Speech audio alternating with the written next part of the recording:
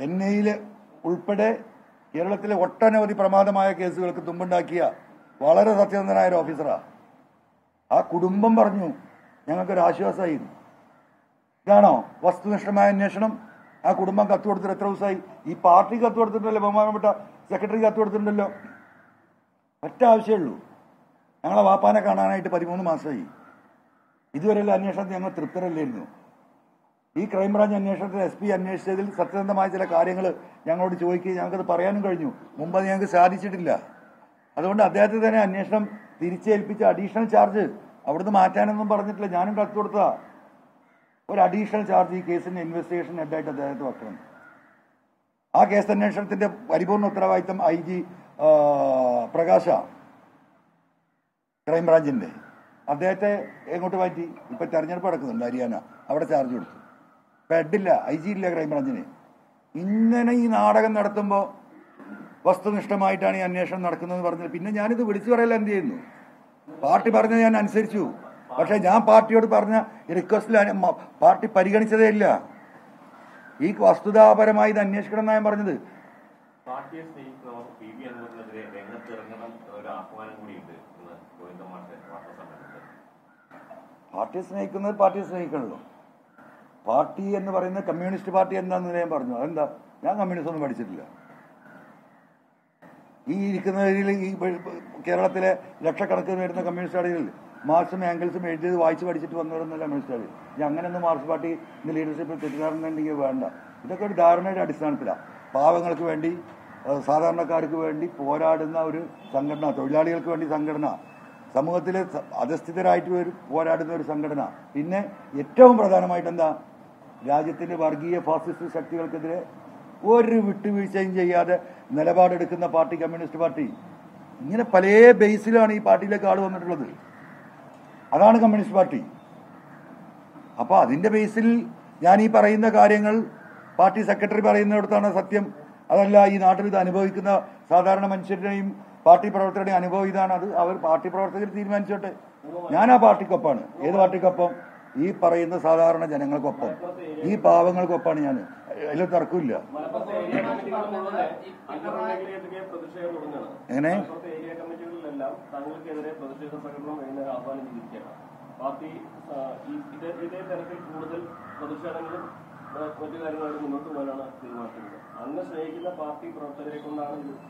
ഓ. അത് കുഴപ്പമില്ലെന്നേ ഞാൻ ഞാൻ നിലമ്പൂർ പോയ കഥ പറഞ്ഞല്ലോ. ഞാൻ മത്സരിക്കാൻ പോകുമ്പോഴുള്ള സംഭവം പറഞ്ഞില്ലേ? കേട്ടില്ല നിങ്ങൾ അന്ന് ഇതേപോലെ ആയിരുന്നല്ലോ. ആ പാർട്ടി സഖാക്കളെ മുഴുവൻ തിരിച്ചു വിട്ടിരുന്ന ഒരു വിഭാഗം. ടി വി അൻവർ മുർദാബാദ് എന്ന് പറഞ്ഞു. എനിക്ക് പാർട്ടി ഫൈനൽ രണ്ടായിരത്തി പതിനാറിലെ തെരഞ്ഞെടുപ്പിൽ സീറ്റ് പ്രഖ്യാപനം നടന്നിട്ടില്ല. പ്രഖ്യാപിക്കുന്നതിന് മുമ്പാണ്. ഞാൻ ആര്യാടന്റെ ബന്ധുവാണ്. ആര്യാടൻ ശോകത്തിനെ ജയിപ്പിക്കാൻ വേണ്ടിയിട്ട് പാർട്ടിയിലെ ഒരു വിഭാഗം പൈസ കൊടുത്ത് പാർട്ടിയെ സ്വാധീനിച്ച് എന്നെ സ്ഥാനാർത്ഥിയാക്കിയതാണ്. അതുകൊണ്ട് അൻവറിന് നിലമ്പൂരിലേക്ക് പ്രവേശനമില്ല. എന്നായിരുന്നു അന്ന് ഇരുപത്തിയഞ്ച് പാർട്ടി ഓഫീസുകൾ പൂട്ടിയെന്ന്. എടക്കര ഏരിയ കമ്മിറ്റി ഓഫീസ് പൂട്ടി. പലരും സ്ഥാനത്തുനിന്ന് വിട്ടു. ആ അവസ്ഥയിലാണ് ഈ സ്ഥാനാർത്ഥിയായിട്ട് ഞാനവിടെ വരുന്നത്. ഞാൻ ഏറ്റെടുത്തു. ഞാൻ പറഞ്ഞു പാർട്ടിയുടെ ഉത്തരവാദിത്തപ്പെട്ട തെറ്റിദ്ധരിപ്പിക്കപ്പെട്ട സഖാക്കളാണ്. അവർ പാവങ്ങളാണ്. അവരെ ഈ പറഞ്ഞത് ഒറ്റയടിക്ക് അവർക്ക് അതാ അതേ മനസ്സിലാവൂ. നാൽപ്പത്തിരണ്ട് ദിവസം ഉണ്ടായിരുന്നു അന്ന് ഇലക്ഷന് നോമിനേഷൻ കൊടുത്തിട്ട്. ഇരുപത് ദിവസം കഴിഞ്ഞപ്പോഴേക്ക് പി വി അൻവർ മൂർദാബാദ് എന്ന് വിളിച്ച ഈ സഖാക്കൾ സത്യം മനസ്സിലാക്കി. പി വി അൻവർ സഖാവെ സിന്ദാബാദ് എന്ന് വിളിച്ചിട്ടുണ്ട് ഈ നിലമ്പൂരിൽ അപ്പൊ അന്ന് വേറൊരു വിഭാഗം നടത്തിയ പണി. ഇന്ന് പാർട്ടി നേതൃത്വത്തിൽ നടത്തുകയാണെങ്കിൽ നടത്തട്ടെന്ന്. അവർക്കത് മനസ്സിലാവുമല്ലോ ജനങ്ങൾക്ക് പാർട്ടിക്കാർക്ക്. അത്രയും കുറച്ച് എനിക്ക് പറയാനുള്ളൂ.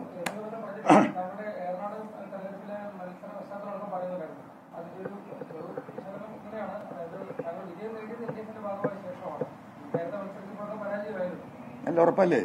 കേരളത്തിൽ ഒറ്റയ്ക്ക് മത്സരിച്ചിട്ട് രണ്ടായിരത്തി പതിനൊന്നിലെ എറണാട് തെരഞ്ഞെടുപ്പിൽ ഞാൻ ഒറ്റയ്ക്ക് മത്സരിച്ച് ഇടതുപക്ഷത്തിന്റെ സ്ഥാനാർത്ഥി ഉണ്ടായിരുന്നു. അഷ്റഫ് മാഷ്. രണ്ടായിരത്തി നാനൂറ് വോട്ടാ കിട്ടി. വെറും രണ്ടായിരത്തി നാനൂറ് എൽ ഡി എഫിന്റെ രാഷ്ട്രീയ ചരിത്രത്തിൽ കേരളത്തിൽ ആദ്യമായിട്ട് ഒരു നിയമസഭാ തെരഞ്ഞെടുപ്പിൽ സ്വതന്ത്ര സ്ഥാനാർത്ഥിയായ എന്നോട് ഏറ്റുമുട്ടിയിട്ട് കെട്ടിവെച്ച കാശ് ആർക്കുണ്ടായില്ല എൽ ഡി എഫിന്റെ സ്ഥാനാർത്ഥിക്ക് ഉണ്ടായില്ല. അത് സി പി എം അല്ല. C P M L D എഫിന്റെ ഭാഗമല്ലേ പിണറായി വന്ന് പ്രസംഗിച്ചില്ലേ? ഈ പറയുന്ന വി എസ് വന്ന് പ്രസംഗിച്ചില്ലേ? എല്ലാ എൽ ഡി എഫിന്റെ നേതാക്കന്മാരും രംഗത്തുണ്ടായിരുന്നില്ലേ? അപ്പോ ഞാൻ രണ്ടാമത് എത്തിയത് പി കെ ബഷീർ പത്തായിരം വോട്ടിനാണ് ജയിക്കുന്നത്. അത് ഒരാളുടെയും പിന്തുണ അല്ലാതെ ഈ പറയുന്ന സാധാരണ മനുഷ്യരുടെ പിന്തുണയിൽ മത്സരിച്ച. അത് കഴിഞ്ഞ് ഞാൻ പാർലമെന്റിൽ മത്സരിച്ചല്ലോ വയനാട്ടിൽ. രണ്ടായിരത്തി പതിനാലിൽ ആരെങ്കിലും ഉണ്ടായിരുന്നോ? അതൊക്കെ ഇവർക്കെതിരെ ഞാൻ നടത്തിയ എന്റെ പോരാട്ടമാണ്. പിന്നെ പതിനാറിലാണ് ഞാൻ എന്തായാലും നിലമ്പൂരിൽ മത്സരിക്കാൻ പോകുന്നു. പാർട്ടി വന്ന് എന്നോട് ചോദിച്ചത്? ഞങ്ങൾ പിന്തുണ എന്നാൽ മത്സരിക്കുമോ ഞാൻ എന്തായാലും മത്സരിക്കുകയാണ് പിന്തുണ നിങ്ങൾക്ക് നൽകണമെങ്കിൽ നൽകാന്ന് പറഞ്ഞു. പാർട്ടി പിന്തുണച്ചു ഞാൻ ജയിച്ചു. ഇത്രയാണ് ഉണ്ടായത്. മുഖ്യമന്ത്രിയുടെ നോക്കി പറയാനുള്ള സ്വാതന്ത്ര്യം എല്ലാ പാർട്ടി പ്രവർത്തകർക്കും ഉണ്ട് എന്നുള്ളതാണ്. പറഞ്ഞത് പാർട്ടിയുടെ പ്രധാന നേതാക്കൾ പോലും പൂജ്യം അല്ല ഞാൻ മാഷ് എന്ന് അത് പറഞ്ഞത് വളരെ വ്യക്തമാണ്.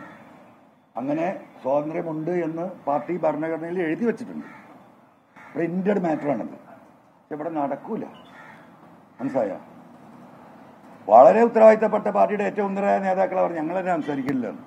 പിന്നെ പാവം മാഷ് അത് പറയുന്നത് ശരിയാണ്. അദ്ദേഹത്തിന് അതല്ലേ പറയാൻ പറ്റൂ? അത് പാർട്ടി ഭരണഘടനയിൽ അങ്ങനെ എഴുതി വെച്ചിട്ടുള്ളത്. ഏത് വലിയവനെയും വിമർശിക്കാനുള്ള അതാണ് ഈ പാർട്ടിയുടെ ശക്തി. സ്വയം വിമർശനവും ഉൾപാർട്ടി ജനാധിപത്യവും ഉൾപാർട്ടി വിമർശനവും ഒക്കെ ഉണ്ട്. ഇതൊക്കെ ഒരു ഭാഗത്ത് എഴുതി വെച്ച ഈ സാധനം ഉണ്ടല്ലോ എന്താണ്? ഇങ്ങോട്ട് നോക്ക്. ആ ബുക്ക് ആ ഭരണഘടന. അത് അട്ടത്താ.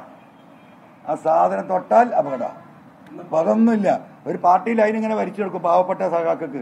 ഇത് പാർട്ടി ലൈനാണ് ഇതിന്റെ പുറത്തേക്ക് പോകാൻ പാടില്ല. ഇത് പാർട്ടി ലൈനാണ് അതാണ് ഞാൻ ചോദിച്ചത്. ആ പാർട്ടി ലൈന് വേണം. ഇ എം എസിന്റെ കാലത്ത് ആ പാർട്ടി ലൈൻ പ്രാവർത്തികമായിരുന്നു. എ കെ ജിന്റെ കാലത്ത് പ്രാവർത്തികമായിരുന്നു. നാനാരുടെ കാലത്ത് പ്രാവർത്തികമായിരുന്നു.